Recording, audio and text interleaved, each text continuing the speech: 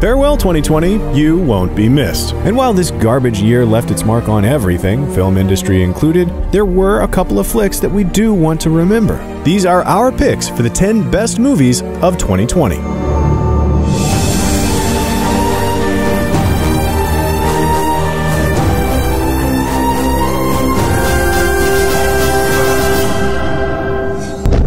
First things first, in a year where we all desperately needed some laughs, did cinema deliver? We think it did. Comedy's a genre that plays almost as well on the TV screen as the silver one, so we saw studios forge ahead with excellent releases like Emma, a charming frontrunner in VOD only release strategies, Bill and Ted Face the Music, a satisfyingly silly capstone, Borat's subsequent movie film, the sequel that couldn't possibly have worked but kinda did, the deliciously dark Another Round, and our pick for Best Comedy of the Year, Palm Springs. But what is this? When is this? Yeah, about that. It's one of those infinite time loop situations you might have heard about. that I might have heard about? Yeah dropping right when it felt like we all needed it in July after the collective realization that Tiger King wasn't going to be enough. The film combines a silly Groundhog Day-ish premise with the spectacular chemistry of Andy Samberg and the consistently underrated Cristin Milioti, and delivered a hilarious rom-com with exactly the right amount of levity. There's a lot of fun exploration of the sillier side of time loop immortality, with a whole bunch of hand-waving to get us through the third act. But it hardly matters. It was just nice to have the company as we all floated through our own version of a never-ending vortex vortex of time. Next up, where comedies often thrive in the home release, the sci fi is definitely made for the big screen, which made 2020 a tricky year for the future. But the platform managed to bring us a cool, contained, high concept dystopia, and Last and First Men was a bold, posthumous swan song from Jóhann Jóhannsson, but it was Tenet that made the biggest sci fi splash this year, so enormous in concept and budget and spectacle that it attempted a theatrical release, Pandemic Be Damned. But we think it couldn't hold itself up, so instead, we're picking The Vast of Night. All right, tell me the word on the Grimaldi's. Don't talk about other people's business. Man, they come up with some other way to fill up this tape recorder, fake rocker. I can't. I just get so nervous and I don't know what to say. Although I was enjoying it back there when we got going, asking him questions. Man, it's just you and me talking. Like, tell me the craziest caller you ever had. Oh, I know what I can tell you. Not about a caller, but about some science I was reading. Can I tell you about that? You certainly can, fake Cordelia Crocker. That's not my middle name. I know it isn't. I don't care. I mean, I didn't know, but I definitely don't care.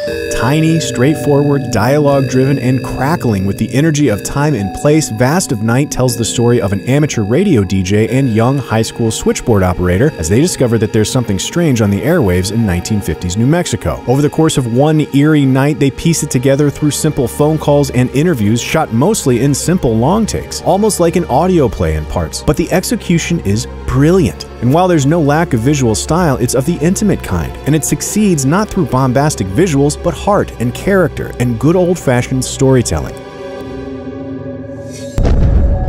Even tougher than sci fi, few studios even attempted to release any action films, with movies like Free Guy, Black Widow, Top Gun, and the new James Bond all getting shoved to 2021. Of those that stayed the course, Birds of Prey had some cool set pieces, and Wonder Woman 84 was fun enough, but it was Netflix that takes the cake this year with some solid B plus efforts from the silly but cool Old Guard to the Korean heist gone wrong Time to Hunt to our pick, the balls to the wall nonsense of Extraction.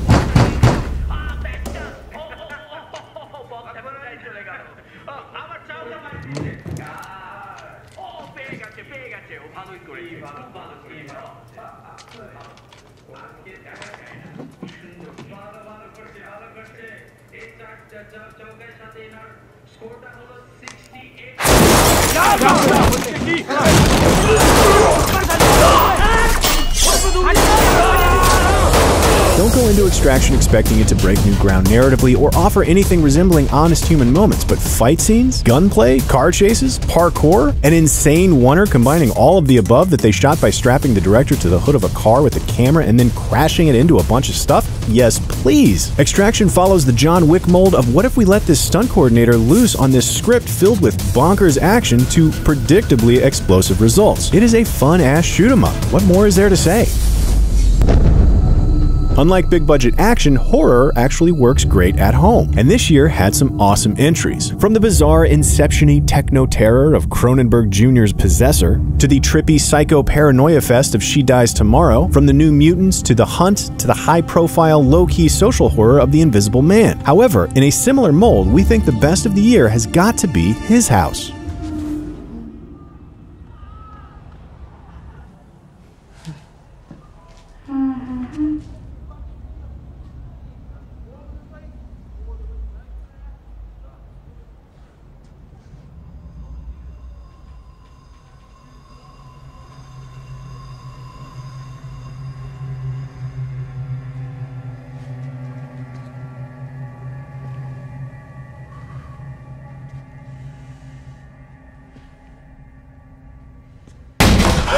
From a scare the shit out of you perspective, his house has it wall to wall. The perfect amount of creepy buildup culminating in some excellent scares with truly bone-chilling some of the best in genre transitions, and just the right dash of body horror to top it off. But when you throw in the story, a tale of two Sudanese refugees escape to England, trapped between the horrors of their past and an unfeeling bureaucracy, it becomes something much deeper and more compelling. Engaging with regret, loss, and past trauma in the same way that made The Babadook great, it finishes it all off with an ending that is absolutely haunting in its imagery.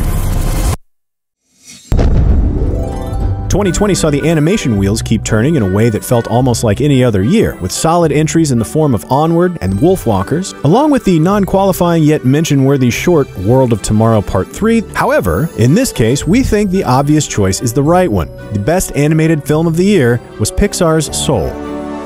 I remember one time my dad took me to this jazz club, and that's the last place I wanted to be. But then I see this guy, and he's playing these chords with force on it. And then with a minor, oh, oh, oh, whoa, whoa, whoa. Then he has the inner voices, and it's like he's, it's like he's singing. And I swear, the next thing I know, it, it, it's like he the stage. An original Pixar story in a similar vein to Inside Out, replacing personified emotions with anthropomorphic souls, the film does struggle to find a simple allegory amidst everything it's grappling with passion and purpose and life and death and teaching and learning and jazz. But as it thrashes about looking for where it's meant to end up, it stumbles into so many beautiful moments that it's hard not to love it. And that's also sort of the point. And while its ending sees the writers trying a little too hard to wrap up its themes with a convenient dialogue bow, in its subtler, poetic moments of visuals and music, they make a perfect argument for its magic.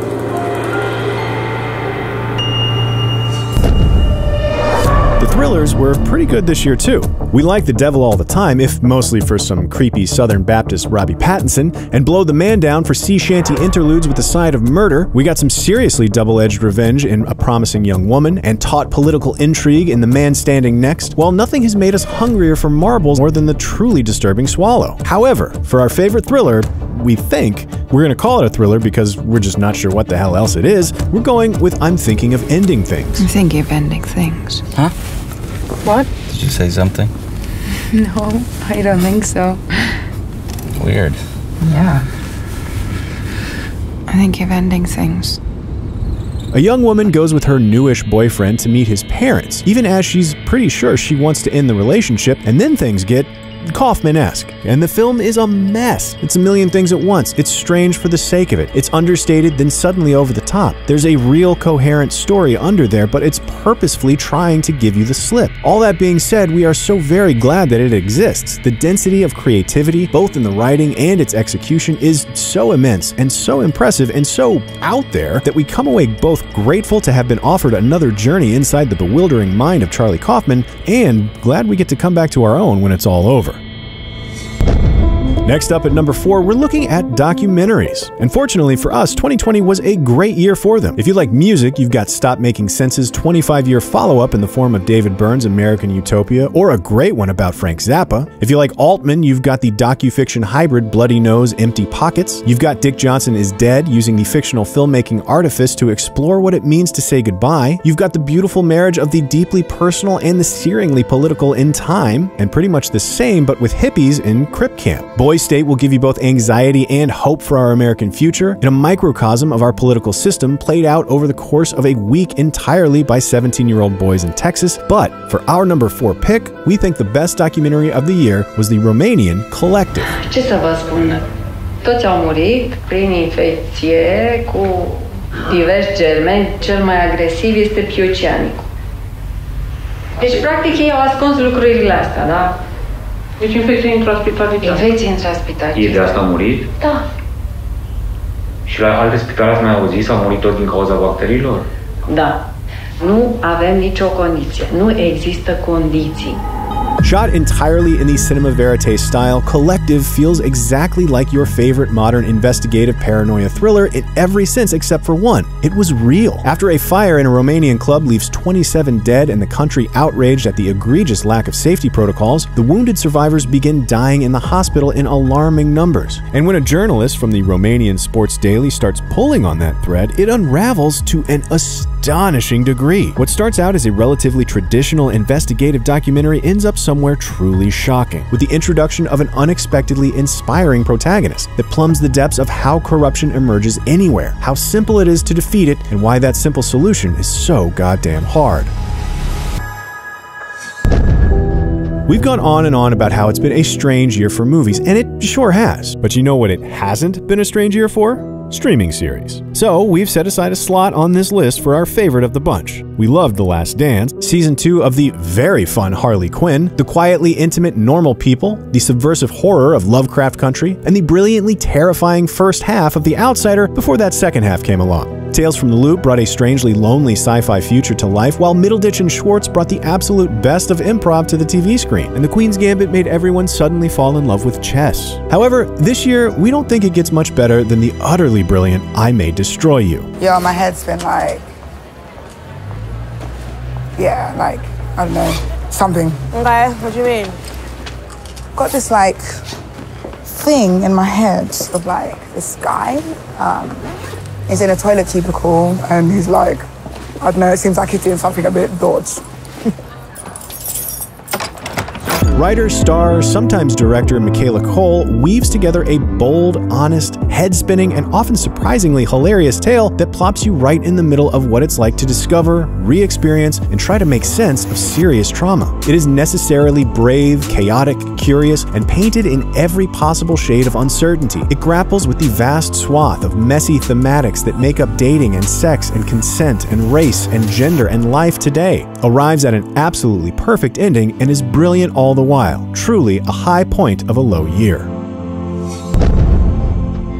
Closing in at number two, we can't leave out the dramas. This year, streaming services and indies led the way, giving us the likes of First Cow, a lovely, gentle caper, Driveways, a quiet, simple character portrait, Kajillionaire, an initially strange, off putting quirkfest that opens up into some beautiful honesty, Ma Rainey's Black Bottom, a sizzling stage play turned film that was over too soon, Vitalina Varela, a stark, gorgeous painting of a movie, and never, rarely, sometimes always, a minimal, honest collage of poignant detail. We're sad to say we couldn't get our eyes on either Nomadland or Minari in time to make this list, but we're happy to say that The Sound of Metal is very worthy of this slot. This one costs uh, 50 bucks extra because It's an original artwork. I'm gonna spin off. That's 50 Okay, a hundred bucks. 10 grand. you guys sound check?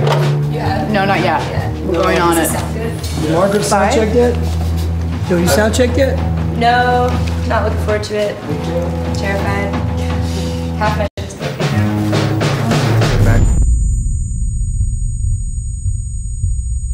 Sound of Metal tells the story of a punk metal drummer and ex addict who suddenly loses his hearing, and with it, basically everything else. There's hardly a frame that star Riz Ahmed isn't in, and the film owes a huge portion of its success to the fact that his performance is essentially perfect. I mean, he nails it. He teeters on the edge of self destruction with such astonishing frankness, viciousness, and vulnerability that we cannot help but be both impressed and a little worried. The bold, edgy sound design thrusts you into moments of simulated deafness to just the right amount, tying you to the inside of his emotional journey so you can feel and hear and live all the vicissitudes of his heartbreaking loss.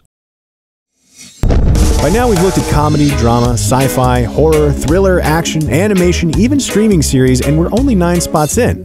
What even is left? Well, just a little slot we like to call reserved for Steve McQueen. In a year where studios around the globe struggle to fill a high quality slate, director Steve McQueen has quietly dropped five of his own features in an anthology series called Small Axe, and my god, were they brilliant! Telling thematically related stories set in the West Indian immigrant community of London circa 1960s, 70s, and 80s, Alex Wheatle, Education, and Red, White, and Blue are all well worth watching. But the real heavy hitters will always be Mangrove, an enraging tale of racist policing tearing at a community from its center, and our pick for the best film of the year, the entirely enchanting time machine that is Lover's Rock. Please, somebody send me a drink, my throat is dry. Don't ask me why. Sorry. what, Mr. Brown? What are you talking about? Lover's Rock is simple. It's billed as a romance set at a reggae party in 1980s West London, and that is its most salient single plotline. But what it's really about is community, togetherness, and music. Nowhere on film has anyone better captured the emotional essence of a house party, how its energy ebbs and flows, bringing people together through song and dance, assimilating their individualities into the oneness of a group, the sensuality of it, from the intimate touch to the sound of dancing feet to the sweat dripping off the wallpaper, the rhythm and shape of it, how it winds throughout the night from a facilitator of flirtation to bonding to romance to catharsis. And oh, that soundtrack while it does. And while it lacks the outright political relevance of other films in Small Axe, it shines brightest of all with its sense of community. It is impossible to watch the film and not long to return to that kind of togetherness, which is exactly why it's our pick for the best film of 2020. So, what do you think? Disagree with any of our picks? Did we forget any of your favorite movies of the year? Are you sure we really forgot them? Let us know in the comments below and be sure to subscribe for more Cinefix movie lists.